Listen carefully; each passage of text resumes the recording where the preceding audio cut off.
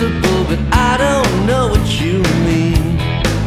Well, okay, sometimes I'm kinda hard to reach, but it ain't as bad as it seems. We got email, voicemail, Federal Express, they can get us out.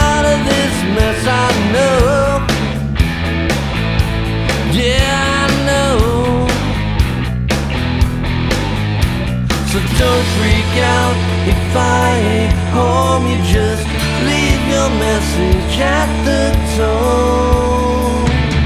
And technology will bring us together again.